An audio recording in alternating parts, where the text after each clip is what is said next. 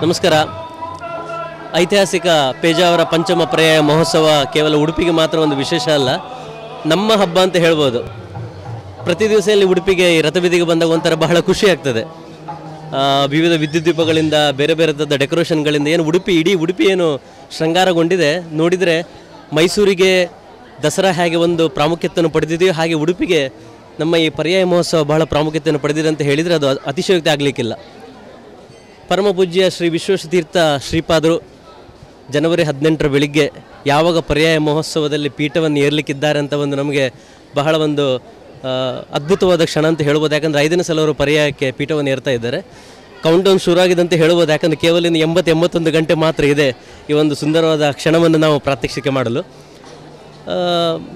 ಬಹಳಷ್ಟು ಬೇರೆ ಬೇರೆ ದೇಶಗಳಿಂದ, ರಾಜ್ಯಗಳಿಂದ ಜನರು ಈ ಪರ್ಯಾಯವನ್ನು ವೀಕ್ಷಿಸಲಿಕ್ಕೆ ಬರ್ತಾ ಇದ್ದಾರೆ. ಹಾಗಷ್ಟೇ ಈಗ ನೀವು ರತಿಬೀದಲ್ಲಿ ನೋಡ್ತಾ ಇರ್ಬೋದು, ಬಹಳಷ್ಟು ಜನರು ದಿನ ದಿನ ಹೋದಾಗೆ ಸಂಖ್ಯೆ ವೃದ್ಧಿಸ್ತಾ ಇದೆ.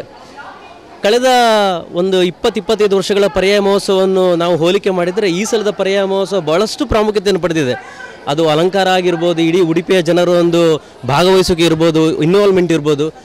ಯಾವ ಥರ ಒಂದು ಉಡುಪಿಯ ಜನರಿಗೆ ಈ ಥರ ಒಂದು ಪರ್ಯಾಯ ಮಹೋತ್ಸವ ಅನಿಸ್ತಾ ಇದೆ ಅಂದರೆ ಇಟ್ ಬಿಲಾಂಗ್ಸ್ ಟು ಅಸ್ ಅಂತಾಗಿದೆ. ಅಂದರೆ, ನಮ್ಮದೇ ಇದು ಪರ್ಯಾಯ ಮಹೋತ್ಸವ, ನಮ್ಮದೇ ನಾಡ ಹಬ್ಬ ಆ ಥರ ಒಂದು ಈ ನಮ್ಮ ಒಂದು ಭಾವನೆ ಬಂದಿದೆ. ಹಾಗೆ ಈ ಪರ್ಯಾಯ ಮಹೋತ್ಸವ ಎಲ್ಲರಿಗೂ ಒಂದು ವಿಶೇಷವಾದ ಕ್ಷಣ. ಹಾಗೆ ಇಡೀ ಉಡುಪಿಗೆ ಅಷ್ಟೇ ಅಲ್ಲ, ಇಡೀ ರಾಜ್ಯಕ್ಕೆ, ದೇಶಕ್ಕೆ ಒಂದು ವಿಶೇಷವಾದ ಒಂದು ಹಬ್ಬ ಅಂತ ಹೇಳಲಿಕ್ಕೆ ನಾನು ಈ ಸಂದರ್ಭದಲ್ಲಿ ಬಯಸ್ತಾ ಇದ್ದೇನೆ. ಹಾಗೂ